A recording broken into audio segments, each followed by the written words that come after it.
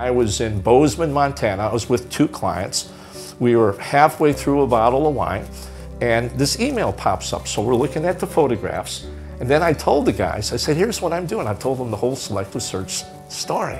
I said, help me choose one. I had already picked out Lisa, but I didn't tell them, right? I said, take a look. So we've all got big glasses of wine, we'll look, and they all picked her. My friends always laughed at me because it wasn't, I'm a chef, so I'm not going out to restaurants. Uh, I don't drink, I don't smoke, so I'm, it's not like I'm going out to bars. And where was I going to meet someone?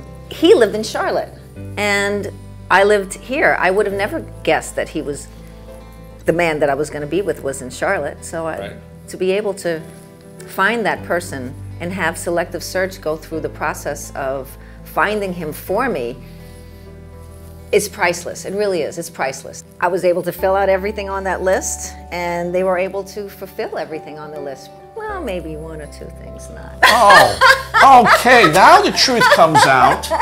A lot of people go on these dating sites because they just want to go out on dates. They're not serious about a relationship. So if you're really serious about a relationship, something like selective search is definitely the way to go because it's just they're looking to help you find the love of your life.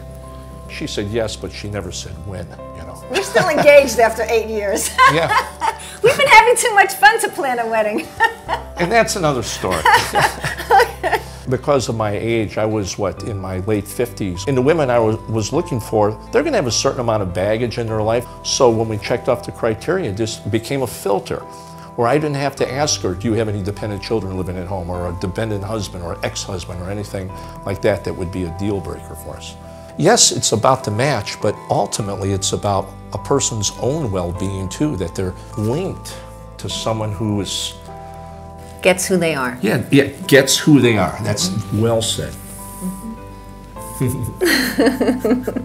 People say, well, would you recommend we do it? I say, you're crazy if you don't do it. There's no question about it. I mean, look at us, right? So look at us. Look at us.